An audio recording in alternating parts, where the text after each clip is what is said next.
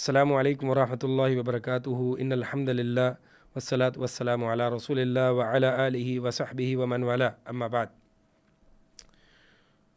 Last episode में हमने जो पढ़ा था वो ये था कि जिसका खुलासा ये है, इसको आसान अल्फाज में आपके सामने पेश करने की कोशिश करूँगा। और वो ये है कि अल्लाह ताला के असमा सिफ़ात जो कुरान और अहादीस में हमें मिलते हैं, हमें उन पर ऐसे ही जो मुतबादर जहन मानी हैं, उन्हें वैसे ही तस्लीम किया जाएगा, बग़ैर किसी तहरीफ़ किए, यानी बग़ैर उन असमा या सिफ़ात का माना तब्दील किए या अल्फाज तब्दील किए। और यानी ये तहरीफ़ कहलाती, तहरीफ़ का हमने बताया था कि यहाँ पे तहरीफ़ जो है, वो तावील के माना में है और वो तावील मज़मूम के माना में है। और तावील मज़मूम का माना क्या है कि अल्फाज के जो मुतबादर जहन जो माना है, यानी जो फ़ौर से जहन में आने वाला माना है, उसको छोड़ के बईद, यानी दूर का माना ले लेना बग़ैर दलील के, यानी इसके आपकी, आपके पास कोई दलील ना हो, इसकी आपके पास कोई दलील ना हो। तो तहरीफ़ तहरीफ़ जो है, तहरीफ़ मैंने आपको बताया था कि इस उम्मत मुस्लिमा में तहरीफ़ लफ्ज़ी भी वाक़ हुई है, और इसी मैंने मिसाल भी आपके सामने रखी थी। और तहरीफ़ मानवी ये तो बहुत ही मशहूर है, यानी बहुत ही ये फैली हुई है, और मतकलमिन का अमूमी जो मनहज है वो इसी पर मबनी है। तो ये तहरीफ़ है। असल में इस इस मसले को पहले इसका मुकदमा समझें कि ये असल, ये हम इस तरह की बात क्यों कर रहे हैं? हमने अपने, हमने अपना अकीदा इस तरीके से क्यों साबित किया है कि हमने अल्लाह ताला के समा सिफ़ात को पर ईमान लाना है बग़ैर तारीफ़ के, बग़ैर तावील के? असल में ये इल्म फ़लसफ़ा या मंतिक, इसकी वजह से यानी जब मुसलमान सफ़ों में फ़लसफ़े का इल्म और मंतिक का इल्म मंतिक भी फ़लसफ़े में ही दाखिल है। जब ये जो है वो मुसलमानों का वास्ता इन ूम से पढ़ा तो फ़लसफ़ा जो है वो खालिस एक इंसानी अक़ल, अक़ली इल्म है। और इसमें सही बातें भी हैं, गलत बातें भी हैं। एक फ़लसफ़े की एक शाख है जिसको इलाहियात कहा जाता है, या इसको डिवाइन फ़िलासफ़ी कहा जाता है। ये जो शाख है या ये जो मौजू है फ़लसफ़े का, यानी ये जो बाब है इलाहियात का, इसमें खालिस अक़ल से मबूद या खालिक का तारफ़ हासिल किया जाता है। देखें, खालिक का या अल्लाह ताला का जो तारफ़ है, वो इजमाली तौर पर तो अक़ल से मुमकिन है। मिसाल के तौर पर अल्लाह का वजूद खालिस अक़ल से पहचाना जा सकता है, बल्कि इंसान की फितरत में ही अल्लाह का वजूद बड़ी बुनिया, बड़ी मजबूती से पेवस्त है। इसी तरह मिसाल के तौर पर अल्लाह ताला की कुछ ऐसी बुनियादी सिफ़ात कि जो इंसान अपनी अक़ल से भी पहचानता है, इंसान की फितरत में, मिसाल के तौर पर अल्लाह के लिए मुतलक उलूव, बुलंदी कि अल्लाह ताला ऊपर ऐसी लिए, जो भी एक हायर पावर या खुदा पर ईमान रखता है तो वो जब भी खुदा से मुखातब होता है तो उसका दिल और दिमाग बुलंदी की तरफ़ मुतवजह होता है। क्यों? क्योंकि खालिक के लिए या रब का मुतलक बुलंदी या उलफ पर होना ये इंसान ये, ये अल्लाह की सिफत है। तो ये इंसान की अक़ल इस तरह की यानी जो इजमाली मारफत है इंसान की अक़ल इस तक पहुँच पहुँच पाती है। मिसाल के तौर पर अल्लाह ताला का अलीम होना अल्लाह ताला का इल्म कामिल होना। हम बहुत सी चीज़ें देखते हैं कि ये मौजूद नहीं थी, फिर मौजूद हुई, वजूद में आई और ये वजूद में आई, ज़रूरी है कि इसके पीछे कोई ना कोई इरादा होगा, तभी तो वजूद में आई और उस इरादा इरादे के पीछे कोई इल्म होगा और वो इल्म भी बड़ा कामिल होगा, तभी तो इतनी दरकीक और बारीक और अहसन तरीके से ये मखलूक वजूद में आई। तो ये गोया कि देखें, अकली इंसान अक़ल से इन सिफ़ात को पहचानता है, जो मैंने आपके सामने बयान की। लेकिन तफसीली मार्फत अल्लाह ताला की ये गैबियात में से है और इंसानी अक़ल, सिर्फ़ इंसानी अकल अल्लाह की तफसीली मार्फत हासिल नहीं कर सकता। इंसानी अकल अल्लाह ताला की तफसीली मार्फत हासिल नहीं कर सकती। मिसाल के तौर पर अल्लाह ताला अपने अर्श पर मुस्तवी है जैसे कि उसकी शान के लायक है। ये तफसीली मार्फत है। ये इंसान की अकल इस तक पहुँच नहीं सकती। अल्लाह ताला के दो हाथ हैं, दोनों सीधे हाथ हैं, दाएँ हाथ हैं। अल्लाह ताला की दो आँख हैं। अल्लाह ताला की पिंडली है। यौम युकशफ़ साकिन। जिस दिन पिंडली से हिजाब हटाया जाएगा, जो सुर कलम में आयत मौजूद है।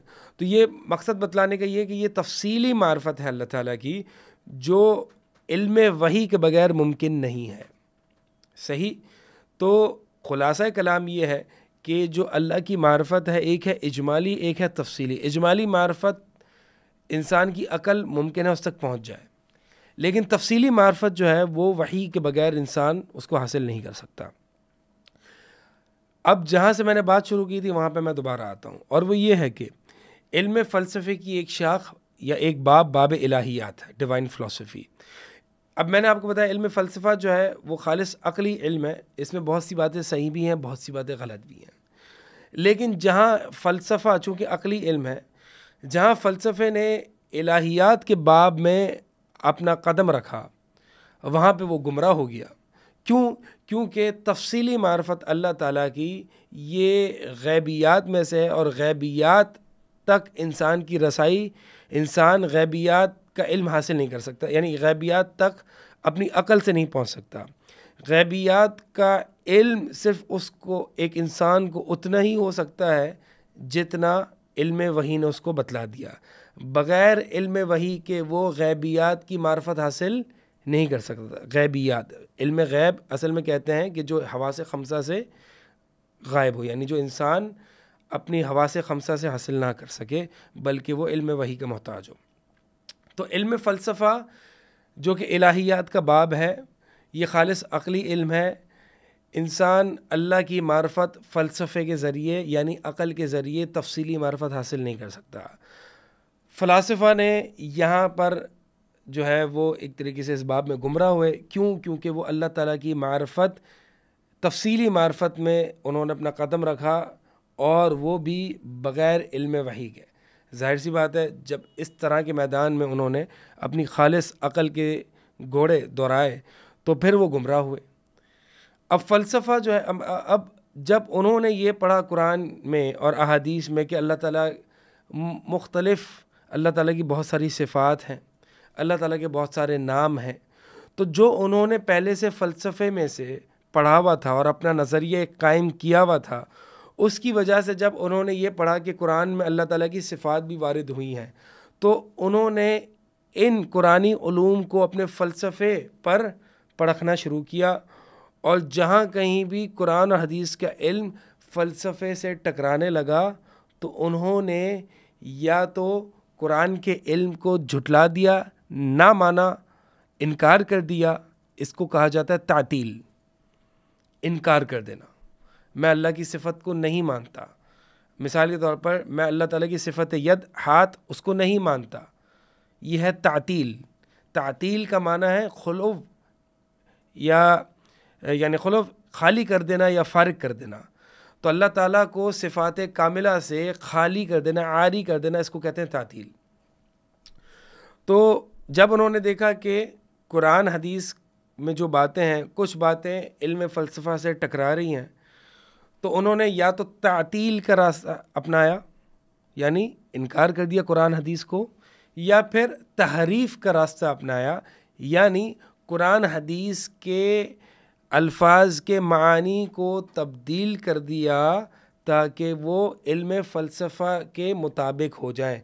इसके उन्होंने जो है वो कह लें तदबीक का नाम दे दिया, री रिकन्सिलियेशन का नाम दे दिया, या मुआफ़त का नाम दे दिया और तौफीक का नाम दे दिया कि हम तो इल्म फ़लसफ़ा और कुरान और हदीस के इल्म में आपस में तवाफ़ुक पैदा कर रहे हैं, उसको आपस में रिकनसाइल कर रहे हैं। तो ये जितना भी हम देखते हैं कि ये अल्लाह की सिफ़ात को नहीं मानते, अल्लाह के असमा को नहीं मानते, ये अल्लाह ताला की सिफ़ात को मानते हैं, ऐसे नहीं मानते जैसे कि अल्लाह की मुराद है, रसूल की मुराद है अलैहि वसल्लम। ऐसे नहीं मानते जैसे कि सलफ़ सालहीन ने माना, बल्कि इसके मानों में हेर फेर करते हैं, इसके मानों में तब्दीली करते हैं, तहरीफ़ करते हैं। तो ये सब इसलिए करते हैं क्योंकि उन्होंने पहले से फ़लसफ़े के मफरूज़ात को अपने दिलो दिमाग में जज़ब कर लिया है, बिठा लिया है और फिर जहाँ पे देखा कि अल्लाह की असमा सिफ़ात को अगर मानेंगे तो फ़लसफ़े को जुटलाना पड़ेगा और अगर फ़लसफ़े को मानेंगे तो अल्लाह ताला की इस कुरान की आयत को जुटलाना पड़ेगा। लिहाजा कोई ऐसा बीच का रास्ता अपनाया जाए जहाँ पे ना फ़लसफ़े के इल्म को छोड़ा जाए, ना कुरान हदीस का इनकार लाजिम आए तो वो वो रास्ता जो है वो तहरीफ़ का रास्ता, यानी कुरान हदीस के मानी में तब्दीलियाँ करके ऐसे तब्दील कर देना कि वो इल्म फ़लसफ़ा के मुताबिक हो जाए मुआफ़ हो जाए। तो अब मिसाल के तौर पर। वो अल्लाह ताला की सिफ़त यद का इनकार करते हैं। ये सिफ़ात, ये सिफ़ा, ये अल्लाह ताला की सिफ़ात में से है। सिफ़त यद, अल्लाह ताला का हाथ। अब वो ये कहते हैं कि अल्लाह ताला का अगर हाथ मानेंगे तो नऊज़बिल्ला इससे अल्लाह का जिसम साबित आएगा। और वैसा जिसम जो, जैसा कि मखलूक का होता है, जब जिसम लाजिम आएगा तो फिर जिसम की वो जो सारी नक़ाइस हैं और ख़राबियाँ हैं और हदूस है, ये सारी चीज़ें लाजिम आएँगी।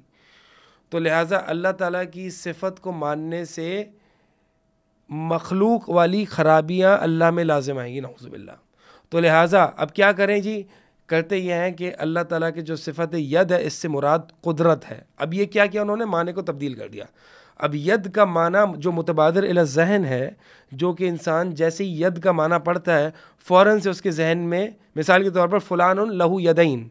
अगर कोई शख्स ये कहता है कि फ़लाँ के पास दो हाथ हैं तो फ़ौर से जो जहन में माना आता है वो क्या है? कि फ़लाँ के पास दो हाथ हैं, यानी ये दो आज़ाद जो हाथ हैं वो हैं, जो इंसान की अकल इंसान जानती है। अब मिसाल के तौर पर अगर मैं कहूँ कि नहीं, मेरी मुराद जो है वो हाथ से कुदरत है।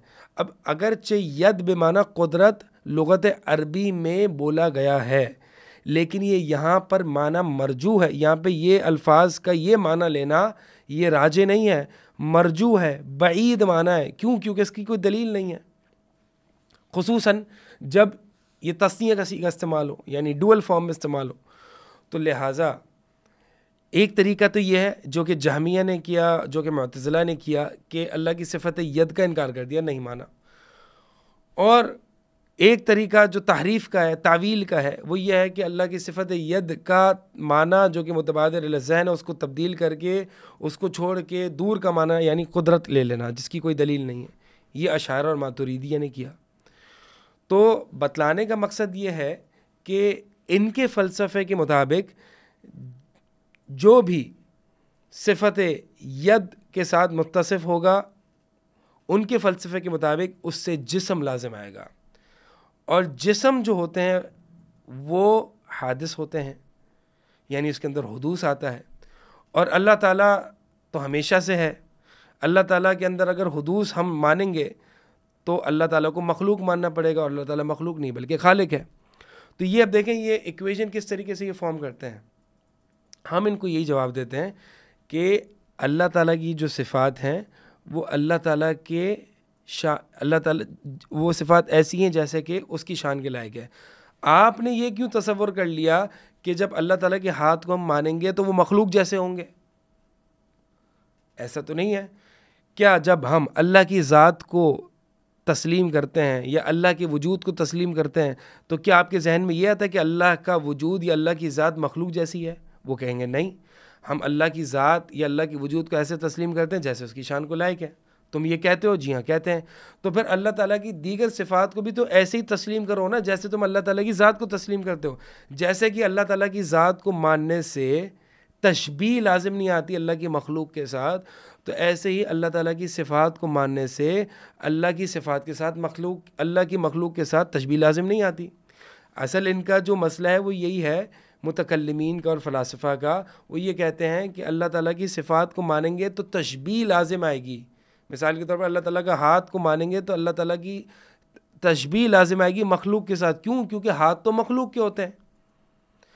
तो जब तशबी लाजिम आएगी तो लिहाजा इसका माना तब्दील कर दो या इनकार कर दो। हम कहते हैं कि क्या तुम अल्लाह की ज़ात को मानते हो? कहेंगे, जी हाँ मानते हैं।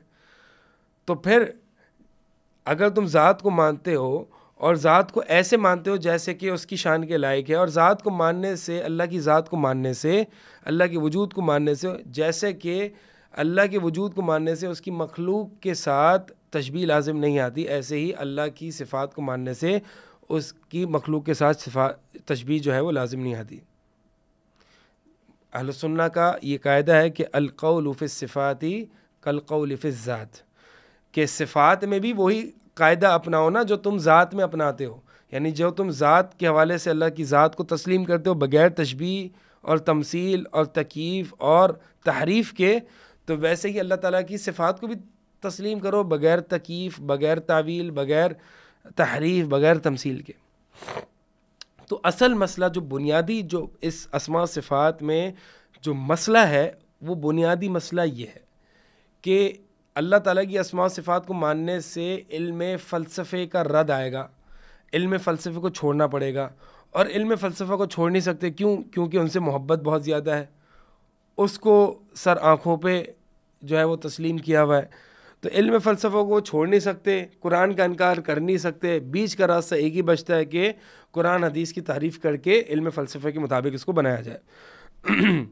तो असल मसला ये है कि अल्लाह की सिफ़ात को तस्लीम करने से जिसम लाजम आएगा, मखलूक से तशबी आएगी, तरकीब लाजम आएगी और तरकीब से जो है वो मोहताजगी लाजम आएगी। ये सारे जो है मकसद बतलाने का ये है कि सारे मसाइल एक ही तरफ़ पॉइंट आउट कर रहे हैं और वो ये है कि अल्लाह की सिफ़ात मानने से मखलूक से तशबी लाजिम आएगी। अल्लाह की सिफ़ात को मानने से हदूस लाजिम आएगा और हदूस जो है वो कदम, यानी हमेशगी, या अज़ल के मनाफी है। या अल्लाह ताला की सिफ़ात को तस्लीम करने से तरकीब लाजिम आएगी। तरकीब, मिसाल के तौर पर तरकीब, जैसे कि इंसान के अज़ा की तरकीब होती है, और तरकीब को मानने से मोहताजगी लाजिम आएगी। जैसे कि इंसान अपने अज़ा का मोहताज है, जैसे कि इंसान अपने हाथों का मोहताज है, अपने एक हाथ इसका मोहताज है, यानी ये तरकीब जो है वो जब जहाँ भी तरकीब होती है, वहाँ पे दो अज़ा एक दूसरे के मोहताजगी इससे ये लाजिम आती है। तो अब देखें ये सारी ये वो बातें हैं जो कि मखलूक में पाई जाती हैं। ये सारी वो बातें हैं जो कि मखलूक में पाई जाती हैं। ये खालिक में नहीं पाई जाती। लिहाजा खालिक को मखलूक पर क़यास करना असल गलती ये है। इसीलिए अहल इल्म फरमाते हैं अहलसन्ना वलजमा फरमाते हैं कि जो भी कोई तहरीफ़ करता है या तावील करता है, अल्लाह ताला के असमा सिफ़ात में, पहले वो तशबी करता है और फिर वो तातील करता है और फिर वो तहरीफ़ करता है। वापस से बता रहा हूँ। जो भी असमा सिफ़ात के बाब में तावील करता है या तहरीफ़ करता है, पहले वो तशबी करता है। कैसे?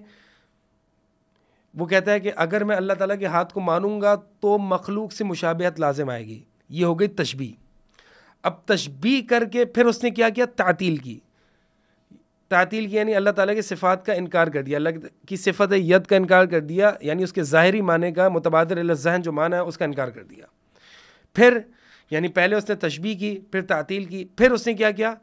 फिर उसने तहरीफ़ की, यानी अल्लाह ताला की यद का जो माना है, उसका माना तब्दील कर दिया और वो माना जो मरजू माना है, यानी कुदरत, उसको वो माना कर दिया।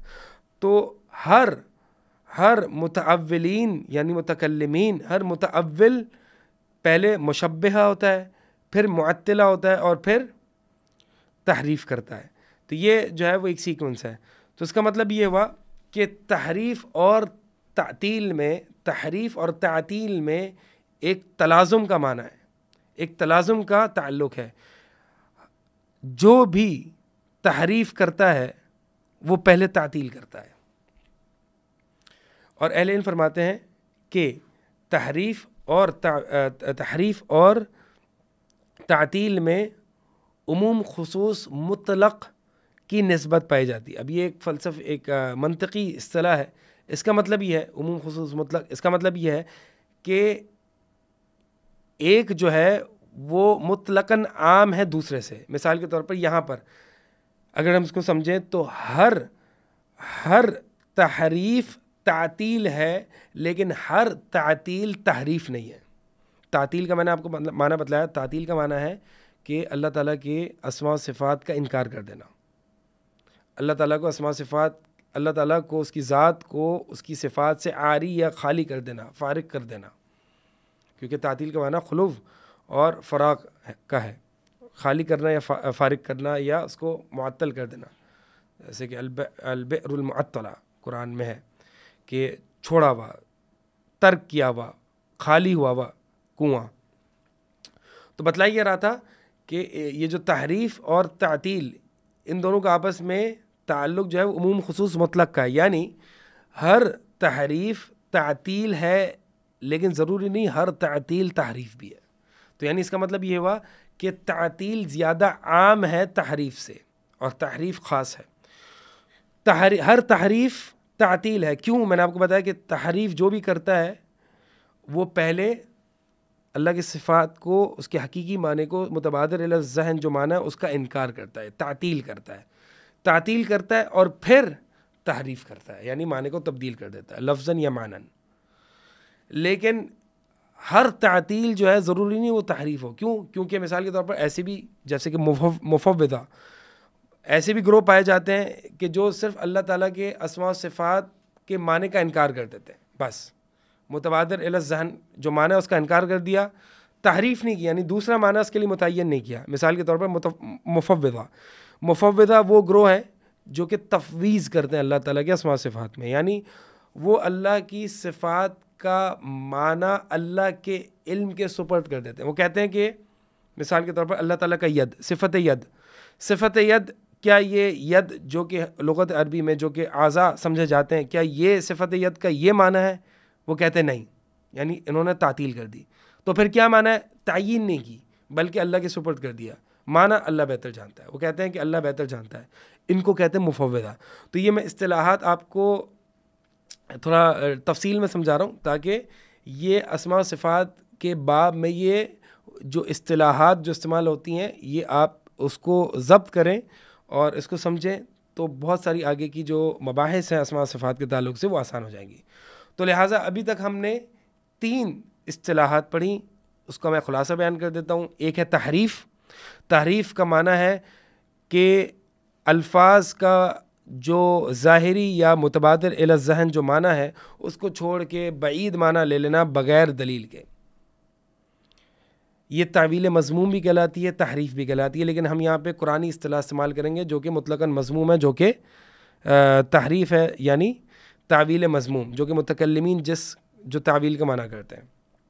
फिर मैंने दूसरी असलाह आपके सामने रखी और वह तातील। तातील कहते हैं, अल्लाह ताला को, उसकी ज़ात को, सिफ़ात से मुअत्तल करार दे देना, खाली करार दे देना, आरी करार दे देना, यानी अल्लाह ताला की असमा सिफ़ात का इनकार कर देना।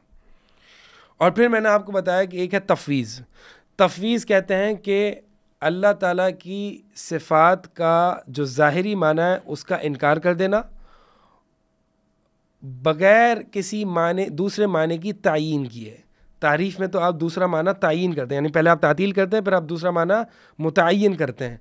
लेकिन तफवीज़ में दूसरा माना मुतन नहीं होता, बल्कि ज़ाहरी और मुतबादर जहन का जो माना होता है, वो उसका इनकार कर दिया जाता है।